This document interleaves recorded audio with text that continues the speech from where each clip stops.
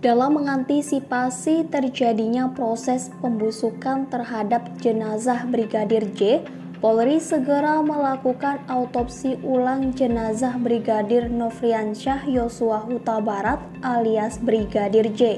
Ekshumasi alias autopsi ulang jenazah Brigadir J sesuai permintaan dari pihak keluarga. Akan kita update kembali untuk jadwalnya tetapi secepat mungkin karena kita juga mengantisipasi terjadi proses pembusukan terhadap mayat.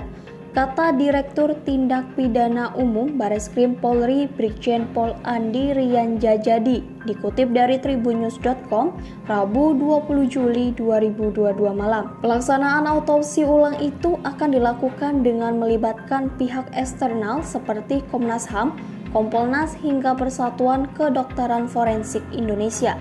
Kompolnas atau Komnas HAM akan saya komunikasikan untuk menjamin bahwa proses ekshumasi nanti tentunya bisa berjalan lancar dan juga hasilnya valid, ujarnya. Sebelumnya, tim kuasa hukum Brigadir Yosua Huta Barat alias Brigadir J mengajukan ekshumasi terkait autopsi ulang kliennya. Permohonan ekshumasi itu diajukan kepada Kapolri Jenderal Listio Sigit Prabowo. Surat permohonan ekshumasi itu juga ditembuskan kepada Wakapolri Komjen Gatot Edi, Irwasum Polri Komjen Agung Budi Marioto, Kabareskrim Komjen Agus Andrianto hingga Dirti Pidum Bareskrim Polri Brigjen Andi Rian Jajadi.